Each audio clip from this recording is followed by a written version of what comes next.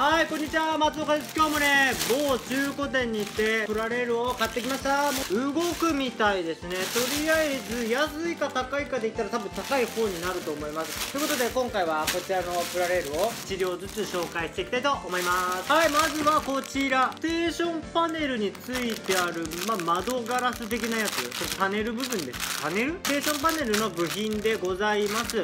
奇跡的に10円っていうね意味が分かりません。とりあえず開封します。開封してみました。6個入っております。まあ色がこの色なんで結構昔のかなと思います。傷とか破損とかは一切ないんでかなり状態はいい方だと思います。はい続いてこちら、えー、スーパービュー踊り子の新塗装の方の動力車でございます。はいこちらでございます。とりあえず動力丸なんだけども台車が違いますね。黄色い車輪になっております。まあとりあえず電池電池で動くかどうかだけ確かめてみたいと思います。はい。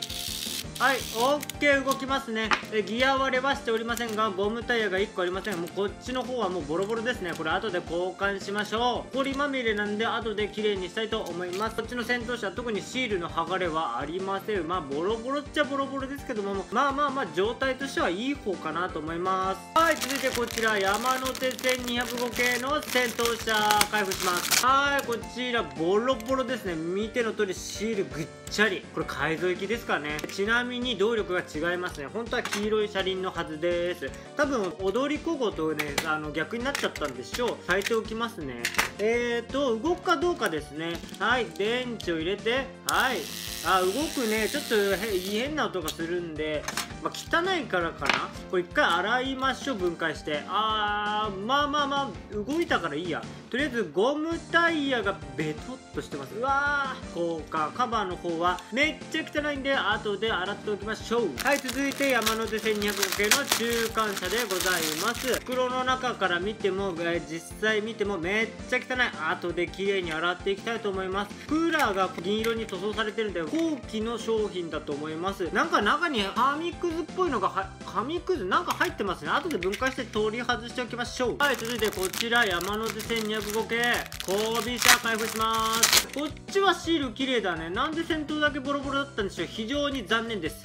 はいボロボロですね。後でえ綺麗に洗っておきましょう。あー塗装も結構剥がれちゃっております。まあ、改造行きにはしないと思うけどもとりあえずえっ、ー、と見違えるぐらいまでにはいかないとしても綺麗にさせてあげましょう。はい続いてこちら。ボブ線の E231 系の戦闘車だけ売ってました。回復します。はいこちらも動くのか動かないかちょっと分かりません。とりあえず中の状態は OK なので多分動くと思うんですよ。ただどうなの？あーあー動かないっすね。残念ながら動きません。あでも動きそうなんだけどこれ多分中のグリスが固まっててる感じがしますね。なんで後で一回お湯で洗いましょう。ゴムタイヤもかなり劣化しておりますので後で交換します。カバーの方はボロボロ。あれだね。割と古いものになります。ここもシールだし。はい続いてこちら。つくばエクスプレスの戦闘車開封します。ここまでボロボロなのって初めてなんだけど。でもなんか改造しようとした跡がありますね。